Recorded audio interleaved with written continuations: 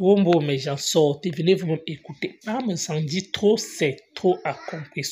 Depuis, elle ne fait que le clasher. Il regarde, il observe, mais il ne dit rien.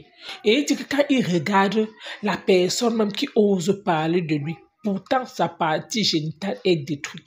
Une personne, en fait, qui ne représente plus la femme. Si on parle de Fleur de on peut tout reprocher à Fleur de mais si on veut regarder le fond, Fleur de en fait, c'est une personne humaine, c'est une personne, en fait, de vrai, c'est une personne, elle n'est pas compris ça. Je vais vous faire écouter deux voices de cette petite personne et vous comprendrez que on n'est pas dans le même niveau. Des démons qui se déguisent et qui portent, qui se baladent avec de la malédiction, Seigneur. Quelqu'un qui se balade avec de l'impureté. Quelqu'un qui a du sang noir dans les mains. Quelqu'un qui a du sang noir dans, ses, dans son appareil génital.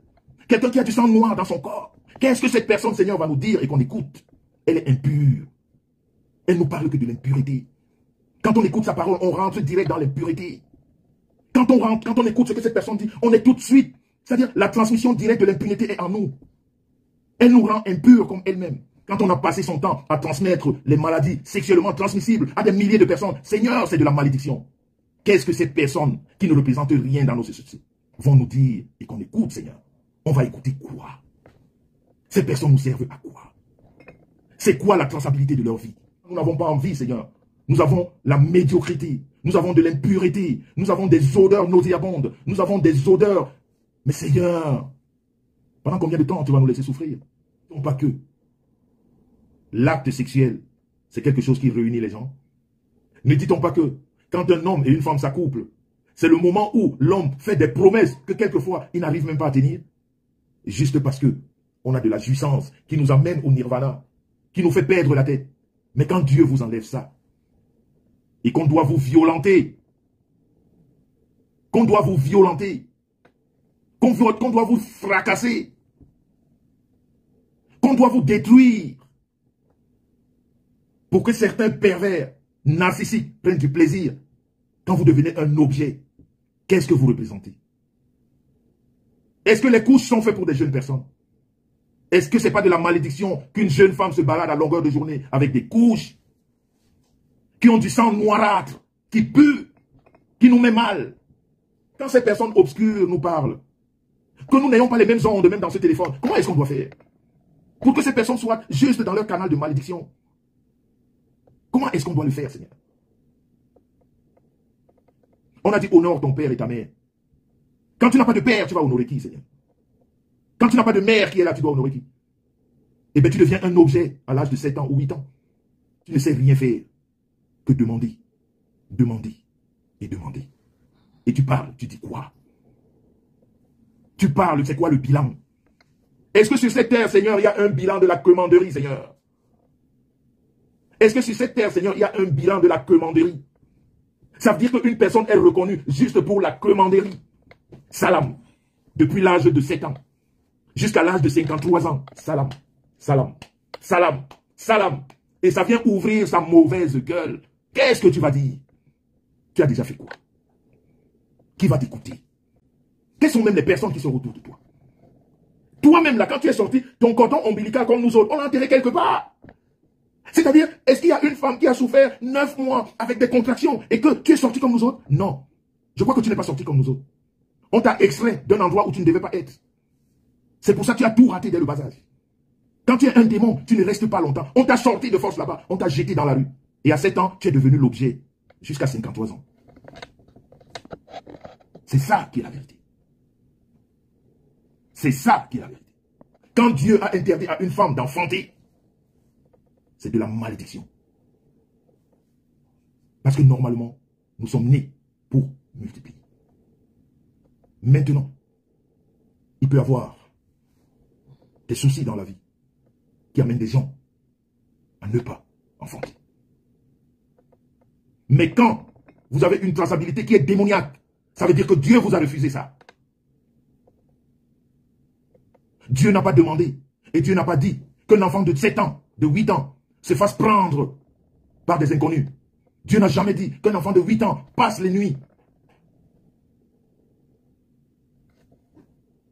dehors à la merci de tout le monde.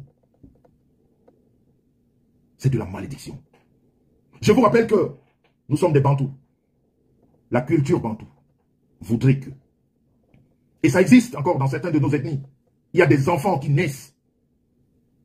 Quand on a constaté que ces enfants ne sont pas de bonne personne qui ne représente rien, qui n'a jamais fait rien pour personne, qui est dans de la malédiction pure et dure, qui vit le martyr, qui est devenu l'objet de sexuel de quelqu'un ou des, ou des personnes, qui ne peut plus s'asseoir sur son fessier comme moi, qui est obligé de s'asseoir de côté, parce que la destruction, Seigneur, Seigneur, le fracassement de derrière est énorme. Le fracassement. Qu'est-ce que cette personne peut apporter comme enseignement dans la vie? C'est quoi l'enseignement qu'on peut apporter dans la vie, notre vie? Ou nous autres, quand nous prenons nos femmes, qu'est-ce qu'il y a de plus beau que l'appareil génital d'une femme sur cette terre? Il n'y a rien de plus beau. Mais quand Dieu te prive de t'en user, et qu'on doit te fracasser, tu dois crier comme un âne parce que tu veux assouvir le, le plaisir d'un pervers narcissique. Parce que sinon, tu n'as même plus ça. Tu vis dans la souffrance, tu vis dans la torture, tu vis dans la puanteur, vis dans la, c'est-à-dire la vraie malédiction. Et toi, tu viens nous parler, tu vas nous dire quoi? Regardez la maudite. Regardez toute sa vie. Regardez tous les hommes de sa vie. Elle a déversé sa malédiction partout. Il n'y a aucun homme de sa vie qui voudrait revenir avec. Le seul réflexe qu'ils ont, c'est de lui faire du mal. Parce qu'ils sont tous dans le regret. Parce qu'ils se sont rendus compte qu'ils ont vécu avec un déversoir de malédiction. Il n'y a pas un seul.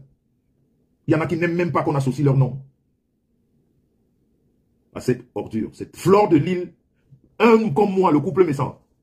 Nous sommes dans les 3000 euros de dépenses pour une soirée. Quand je le dis, même certains membres de ma famille ne sont même pas contents parce que vous savez que dans nos familles, on doit toujours aider. On doit aider nos familles, nous qui sommes ici. Mais quand nos familles qui sont en Afrique entendent ou écoutent que pour une soirée, tu mets 3000 euros, ça peut les énerver. Mais ils ne peuvent pas comprendre que le plaisir n'a pas de prix. Moi, le plaisir que je passe avec ma femme, mes enfants, comme cet après-midi, je suis sorti pour mon fils Azaël, je ne compte pas. Je voudrais lui faire plaisir, je voudrais qu'il soit content. Je voudrais qu'il ait, ait les étoiles dans les yeux. C'est-à-dire, quand il se réveille le matin, il est fier de son père. Il est sûr que son père est capable. Qui ne connaissent pas des choses antérieures. Je peux vous rappeler que Flore de Lille, c'est quelqu'un que je connais depuis longtemps. On a un amour, comment je dirais, comme chantait euh, un, chanteur, euh, français, je sais plus qui, je crois que c'est Gainsbourg, hein. je t'aime moi non plus. Je crois que c'est Gainsbourg qui a chanté ça. Hein. Je t'aime. Moi non plus. On ne se déteste pas. On ne s'est jamais détesté. Mais on a des moments où on ne s'entend pas. Parce qu'on ne partage pas peut-être les mêmes sujets. Parce qu'on n'a pas peut-être le, même entendement sur certains, je sais pas moi. Mais au fond, il y a de l'amour. Et moi, je suis comme ça. On ne me marque pas deux fois en amour. On me marque une fois. Et ça reste. Quand cette fille-là, et ça, je suis redevable de ça toute une vie. Parce que quand quelqu'un fait quelque chose avec son cœur, c'est très important. Quand tu fais quelque chose parce qu'on te force, parce que tu es conditionné, c'est une autre chose. Mais quand tu viens avec le cœur, tu dis oui, il y a une situation, je voudrais stopper ça. Même au moment où on ne t'attend pas, ça reste là. Je parle de moi. Quand Flore s'est retournée il y a quelques années, elle est venue vers moi et me dit, comme elle m'appelle affectueusement mon papou, la situation qu'on vit ne me plaît pas. Il faudrait que ça s'arrête. Rien, je dis bien, rien ne l'obligeait à venir vers moi. Rien. Elle n'a été conditionnée de rien du tout. Elle n'a été poussée par personne. Son cœur lui a parlé. Et ça, c'est des gestes qui restent. Parce que des fois, les gens ont de la manifestation ou de l'amour pour certaines personnes. D'autres ne comprennent pas pourquoi. Ils se demandent qu'est-ce qui se passe. Il y a eu, je sais pas, voilà. Elle est venue, sans toutefois qu'on le lui demande, me dire, mon papa, il faut que ça s'arrête. Je ne peux pas comprendre que je ne peux pas t'appeler. Je ne peux pas comprendre que toi, tu ne peux pas m'appeler. Pourquoi? Il y a eu des broutilles, mais pour c'est pas important que l'amour qu'on a. Et cerise sur le gâteau. Elle me dit, je voudrais que ça se passe en mondiovision, devant tout le monde. ici sur la toile. Ça, c'est quelqu'un qui a un bon fond, qui fait des choses comme ça. Qui voudrait marquer son passage ici sur terre. Parce qu'un jour, quelle que soit l'histoire qu'on va écrire sur cette fille ou sur cette femme, je vais dire moi, si j'écris son histoire, je dirais qu'un jour, cette femme est venue sur mon mur me demander pardon, sans aucune condition, devant 19 000 personnes. Le record de Facebook n'a été jamais battu par personne. Parce que certains ne comprennent pas certaines choses. Elle est venue dans ce mur qui s'appelle le couple des jumelles. Deux fois, on a commencé ce processus de paix, de pardon mutuel. Tous les deux, ici en Audiovision, les gens nous posaient des questions. Moi-même, je lui posais des questions. Elle-même, elle me posait des questions. Et on a dit ça s'arrête en Audiovision. On a fait 19 000 personnes. Personne n'a jamais fait ça ici dans le bloc camerounais. 19 000 personnes en une soirée, ça n'existe nulle part. Flore et moi, on l'a fait pour un processus de paix. Et qui a été organisé par elle. Elle n'était forcée à rien. Donc les gens posent des fois des actes dans la vie qui sont très importants. Mais les démons ne les comprennent pas. Les démons ne comprennent pas. Les démons ne comprennent pas. Flore, on peut lui reprocher tout ce qu'elle est. Parce qu'elle est un être humain. Mais elle a une conscience. Elle a une conscience. Et c'est ça. Parce que quand tu as perdu la conscience, tu deviens une maudite, comme l'autre tortue. Qui n'a pas ce qu'on appelle l'examen de conscience. Quand tu n'as plus ça dans ta vie, tu es perdu, tu es un objet. Tu ne sers plus à rien. Mais cette fille sait revenir en elle, se poser des bonnes questions et venir te dire humblement pardon. J'étais offensé, pardon. Ne rentrons pas dans les détails, s'il te plaît. Je n'étais pas bien dans mon coin. Je sais ce que j'ai fait. Je demande pardon. Tu ne peux pas refuser ce pardon. Même Dieu ne l'acceptera pas. Si tu refuses ce genre de pardon, même Dieu ne va pas t'accepter toi. Parce que quelqu'un, personne, tout le monde peut garder un, orgueil inutile, comme on voit sur la toile, qui ne sert à rien. Dis, mais je vais faire ça pourquoi? Je fais ça pourquoi? D'autres le font avec condition. Mais elle, vient. Elle te dit, je voudrais que le monde entier le sache. Hein? Je voudrais que le monde entier le sache. Et comme moi, je ne suis pas ingrat, ça s'est passé sur mon mur. Parce que les gens disent aujourd'hui, la monétisation paye. La monétisation ne paye plus. La monétisation, la monétisation ne paye plus. À cette époque, tu rassemblais 19 000 personnes, tu étais content à la fin du mois. Et ça, je l'ai gagné grâce à elle. C'est-à-dire la fin de ce mois-là, quand tu vois ce que Facebook t'envoie, tu es content. Flora fait gagner de l'argent aux abrutis, aux aigris, aux, aux, aux, aux, maudites ici. Mais je les vois aujourd'hui, elles ont tout oublié. C'est la malédiction qui fait ça, rien d'autre. Il n'y a que la malédiction qui peut faire que tu ne peux pas avoir un examen de conscience, tu ne peux pas avoir de la retenue sur, quelqu'un qui un jour t'a apporté de l'aide. Parce que moi, ce que Flore a fait, je n'oublierai jamais. Parce que j'ai dit, j'ai vu ma fiche, à la fin du mois, j'étais content. Parce que vous savez, ça ne s'arrête pas. Ça ne s'arrête pas. Ça vous prend, quand vous avez un boost comme je l'avais eu, 19 000 personnes en une soirée. 19 000 personnes, imaginez le nombre de vues. Tout au long du mois. Parce que les gens voulaient écouter, les gens voulaient regarder. Et ça, ça payait. Parce que moi, ça fait qu'elle est venue me demander pardon dans ma maison. Et elle a voulu que tout le monde le sache. Elle a dit à mon Vision, mon papa, je te demande pardon. Je sais que j'étais offensé. Moi aussi, je lui ai dit, Flore, moi-même, j'étais offensé, je te demande pardon. Mais c'est venu, l'initiative est partie d'elle. Et ce pas des choses qu'on oublie. Ce pas des choses qu'on oublie. Parce qu'il y a peu de gens qui le font dans la vie. Dans notre vie, si. Il y a peu qui le font. Alors quand quelqu'un le fait. Exactement. Alida, c'est ce qu'on appelle l'humilité. Ça ne s'accompagne que des bénédictions. Ça ne peut s'accompagner que des bénédictions. Et je ne suis pas le seul avoir, je vais dire, un jour dans ma vie, profiter de la présence, de l'humilité de Flore. Ça ne m'a pas fait vivre toute ma vie. Mais elle m'a rendu heureux, ne serait-ce que pendant ce moment. J'étais très heureux. Et la cerise sur le gâteau, de voir ce que ça engendrait, fit la première fois. Malgré que j'étais avec la maudite. Et que Lolo ne s'entendait pas avec la maudite, c'était la guerre. Lolo est venu à la veillée du deuil de mon neveu à Paris. C'était la première fois que je la vois avec mes yeux, Lolo. Je ne la connaissais pas. Je ne la connaissais pas. Quand elle est venue, elle me dit, c'est moi Lolo. Je dis, waouh. Et je devais jouer entre elle et la maudite qui était là. Et les deux ne se parlaient pas. Mais elle a pris ça sur elle. Parce qu'elle s'est dit que ce qu'elle a avec la maudite n'est pas plus important que la douleur que je vis. Ça veut dire de perdre son neveu. Elle a mis la douleur au-dessus. Elle a dit, je viens. Je sais que ta soeur, la maudite, ta maudite à l'époque, comme tout le monde croyait que c'est ma soeur. Elle est venue. Et elle est rentrée au petit matin. C'est moi qui l'ai mise dans le taxi. Au petit matin. Je dis bien contre vents et marées. Quand il arrivait que je fasse le choix. Quand, quand la situation m'imposait le choix entre Lolo, entre Flore, je faisais le choix de la maudite parce qu'elle est malade. Parce que j'ai du respect pour sa maman. Parce que les paroles que sa maman m'a dites d'elle, les, les, messages de sa maman que j'ai d'elle, ça fait pitié. Elle, quand je la vois, c'est de la pitié que je lis dans ses agitations. De la pitié. Et quand à un moment donné, ce choix m'était imposé, c'est pour ça que vous avez senti à un moment donné, Flore vous l'a dit, le live dont je vous dis, 19 000 personnes, elle a dit oui, tu avais choisi ta soeur. Justement, elle s'était sentie de laisser. Parce que ce qu'elle reprochait à cette maudite, je lui disais à Flore que ce n'est pas vrai. Lolo me l'a dit. Elle vous l'a dit même en vision. Tu as choisi ta soeur. Parce que ce, que Lolo me dit de cette maudite, je disais à Lolo que ce n'est pas vrai. Et ces personnes me disaient, ok, fais donc ton choix. J'ai dit, ok, je fais le choix. Et ces personnes qui ont utilisé Flore et Lolo à cette époque ont utilisé cette histoire de tribalisme.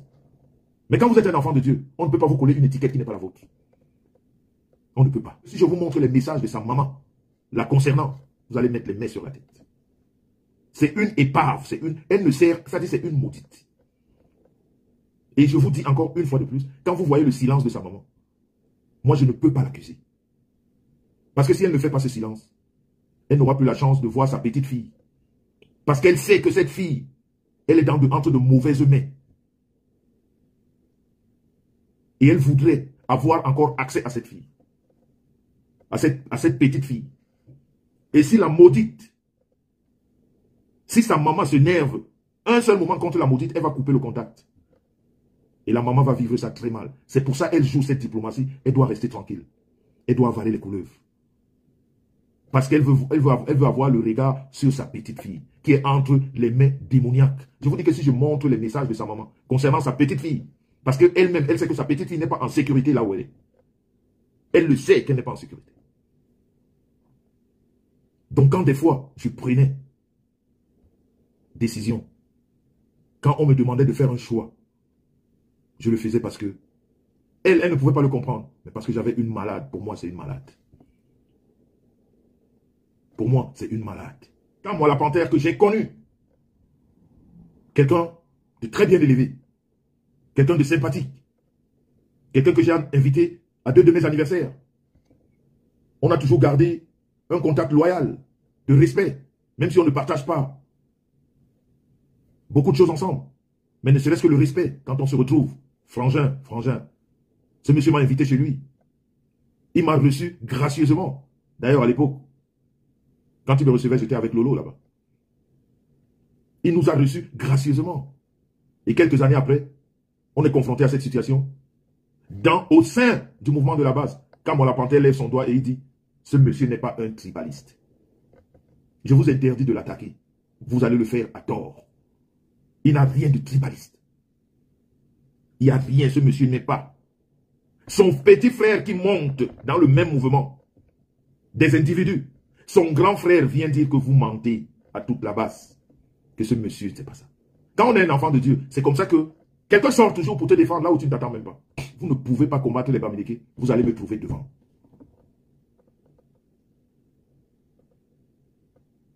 Vous allez me trouver devant le faux combat que j'ai mené pour couvrir la malédiction de l'inculture, de la bassesse, de l'ingratitude incarnée. C'est la même énergie que je vais utiliser pour vous montrer que vous ne pouvez pas combattre le peuple bamileke, surtout dans ce sujet, qui est le tribalisme. Vous mentez. Et des personnes que les bamileke ont donné à manger hier, des personnes que les bamileke ont payé le loyer hier, des personnes même qui vivent même chez les bamileke, ils ouvrent leur... pour nous dire que les bamileke sont tribalistes. Tu vis chez une bamileke, un une Bamileke t'a donné à manger hier, a payé ta maison hier. Tu sors quand même aujourd'hui dire que un groupuscule. Si on te demande d'écrire groupuscule, tu sais écrire ça. On te demande même d'écrire Bamileke, donc tu écris là, tu sais écrire ça. Quand ça vous a dépassé, vous la fermez. J'avais parlé comme un prophète. J'ai parlé le soir. Et le lendemain, ces sœurs se sont retrouvées à un deuil où elles ont fait la paix. Rien n'était programmé. Elles se retrouvent dans un deuil parce qu'elles ont une amie commune. Et elles décident de faire la paix. Et je l'avais prophétisé à la veille. Donc vous pouvez comprendre que nous ne sommes pas pareils. Il existe, mais mon combat, c'est où? Tu sais lire, écrire depuis Malédiction légendaire.